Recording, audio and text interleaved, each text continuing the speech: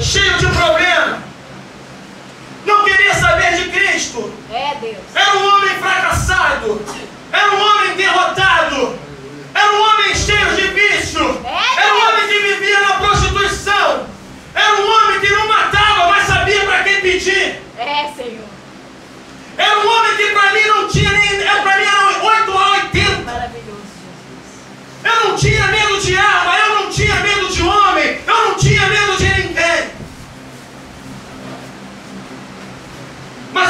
Senhor tinha um chamado na minha vida. Aleluia. O Senhor tinha um amor na minha vida. E eu quero te dizer uma coisa nessa noite, querido. Eu sou fruto de um amor, porque pro amor não há barreira, pro amor não há distância, pro amor não há fronteira. Basta você fazer a vontade de Deus. Aleluia. Aleluia. E essa pessoa saía aqui daí. Ia para São João de Miriti. É Deus. Para falar comigo dentro de um pagode. Para falar do amor de Cristo para mim. É Deus. Porque, como diz aí, eu vou sempre bater. Amarás o teu próximo como a ti. Aleluia, Jesus. Ela me conheceu dessa forma. Me conheceu revoltado. Me conheceu fracassado. Me conheceu sem esperança nenhuma. Mas ela praticou aquilo que o Senhor ensinou. E juro e falo para os irmãos que todas as vezes que ela chegava naquele pagode, ou todas as vezes que ela chegava no shopping center onde eu trabalhava e ia jantar comigo, eu falava lá, vem aquela maluca de novo, porque vem falar de uma coisa que eu não quero, vem falar de uma coisa que eu não pratico. Aleluia, Jesus. Irmãos, eu estou falando da missionária Cristiane Barelli, minha amiga, há mais de oito anos.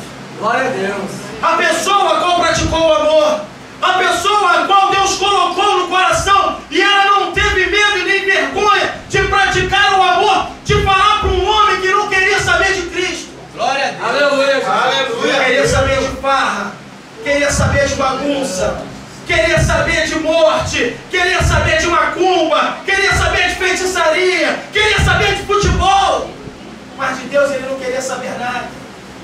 Não sabia nem quem era, nem como se escrevia Jesus.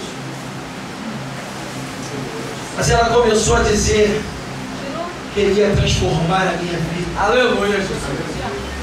E ela começou a me contar o seu testemunho. E eu comecei a entrar dentro da vida dela.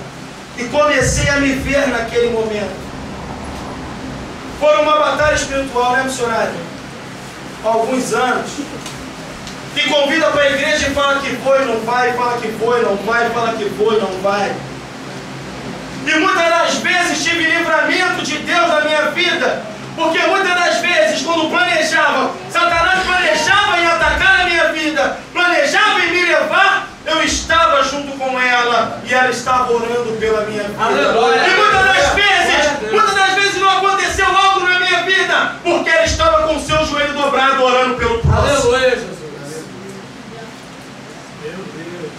Até que um belo dia eu falei para ela, olha, eu aceitei Jesus, eu estou na igreja. E não sabia o mistério que ia acontecer. Pois bem, da vida que eu estava, ela piorou. Porque nós quando aceitamos ao Senhor, pensamos que vamos melhorar, mas a vida piora. Porque é a hora que o Senhor te coloca à prova. É a hora que Ele quer ver até onde você vai chegar, até onde você vai suportar. E eu comecei a suportar. E eu comecei a praticar. E todas as vezes que eu estava pensando em parar, todas as vezes que eu estava pensando em desistir, todas as vezes que eu pensava em sair do caminho, bastava eu pegar o telefone e ela falava para mim: O Senhor já falou comigo. Fala, meu filho, o que, está acontecendo?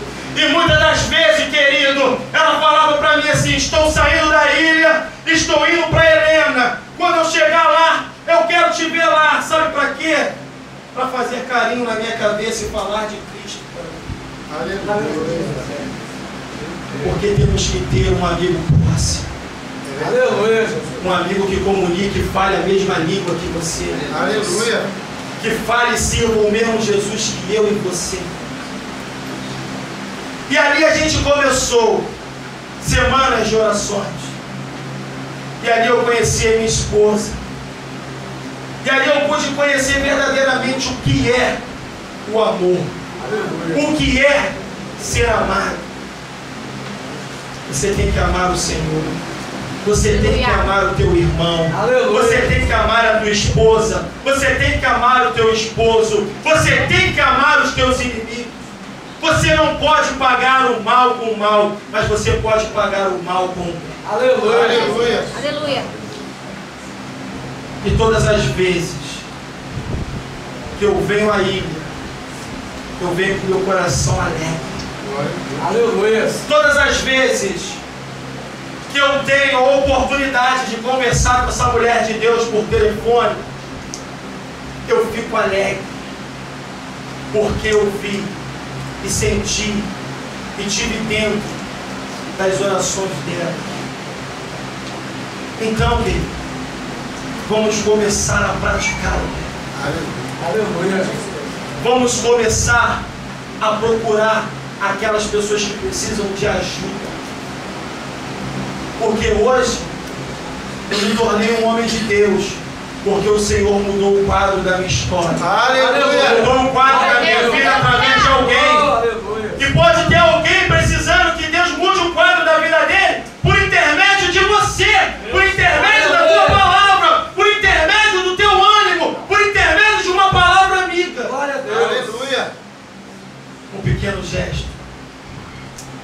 Basta. Ontem eu tive o prazer de ouvir o meu pastor dizer que entraram pela porta da igreja mais ou menos 15 jovens, tudo de cabelo pro alto vermelho, todos largados, todos punk, todos. Mas alguns deles ali para metade aceitaram o Senhor Jesus. Aleluia, glória a Deus. Glória. E ele conversando comigo, ele falou, através de um trabalho que um deles levantou de orar pelos seus amigos, Aleluia. amigos de escola. E ele levou um que gostou. E jovem é assim, vai um, amanhã vem três, amanhã vem nove. Quando você vê, você está com a sua turma toda dentro dele. Aleluia. Glória a. Deus. E eu tive o prazer de ouvir que a mais da metade daqueles jovens que entraram ontem se converteram. Aleluia. Ouviram a palavra. A palavra confrontou o seu coração, porque tinha alguém que estava fazendo por eles. Eu Aleluia. estava amando e orando pelo teu próximo. Oh, aleluia. Aleluia. Quero que você fique com essa palavra, eu estou terminando aqui. Quem é o teu próximo? E que essa mensagem reflita na sua vida a partir de hoje. A quem eu tenho que ajudar? O que eu tenho que fazer para mim estar amando e ajudando o meu próximo? Se eu não quero o mal para mim, eu não quero para o meu irmão. Se eu quero bênção em dobro na minha vida, eu quero bênção em dobro na vida do meu irmão. Aleluia. Aleluia. Você nesta noite possa meditar na palavra de Deus. Vimos que para o amor não existe diferença. Verdade. Vimos que para o amor não existe religiões. Para o amor não existe cor, não existe raça, não existe barreira para nós praticarmos o amor. Nós temos sim que praticar e muito, porque ainda nem começamos a fazer isso. Verdade tem que dizer. Aleluia. Poucos são os que praticam o amor. Poucos estão indo buscar esse dom, esse mandamento de Deus. Porque se você não amar o teu próximo, você está ferindo a lei de Deus. Você está ferindo o mandamento de Deus. E quando você infringe essa lei, quando você fere essa lei, a consequência ela dói. A consequência ela é muito grande. A consequência ela é maior do que você possa imaginar. Quando nós infringimos essa lei. Então, querido, hoje você sai daqui meditando nessa palavra. Glória a Deus. Foi a palavra que o Senhor me deu, foi a palavra que o Senhor me revelou. Foi a palavra que quando eu estava sentado aqui o Senhor falou, a minha igreja tem que ouvir. Eu poderia até mudar, eu poderia até falar de outras coisas, mas eu quero te dizer nessa noite, pratique o amor ágape, o amor verdadeiro. Aleluia, Jesus. Pratique o amor, que você não vai ver a diferença nenhuma, você só vai ganhar com essa diferença. E aqueles que estão aqui são casados, pratiquem o amor dentro de casa. Aleluia. Pratiquem o amor com a sua esposa. Pratique o amor com o seu esposo. Não venha olhar a diferença. Nós vamos errar, vamos Aleluia. sim, mas temos que Verdade. saber perdoar, temos que Verdade. saber lidar com essa palavra perdão. Muitas das vezes pensamos que o perdão é sinal de humilhação. Aleluia. Não, perdão é sinal de crescimento. É Aleluia. sinal que você está crescendo. É sinal que você está se aperfeiçoando. O perdão, ele faz parte do crescimento do crente. Pensamos que o perdão é humilhação. Não. O perdão faz parte da nossa vida. O perdão faz parte do nosso dicionário. Então, querido, eu quero te dizer nessa noite, pratique o perdão com seu irmão. Aleluia. Antes de entregar ao pastor, eu queria que você olhasse para o seu irmão e fale para ele assim: pode contar comigo a partir de hoje. Pode contar com as minhas orações.